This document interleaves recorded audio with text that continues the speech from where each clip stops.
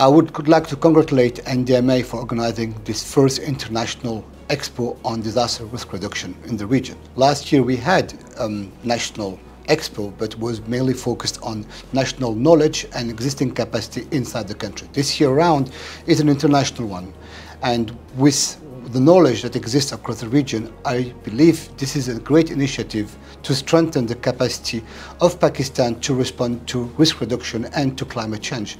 NDMA has been the pioneer in this region. OCHA, we work very closely with NDMA and we continue to collaborate very closely with NDMA into contingency planning, in capacity building, in anticipatory action, information management and coordination. We believe coordination, communication and information are the key to respond effectively and quickly and efficiently to support the needs of the population that might be impacted by any climate change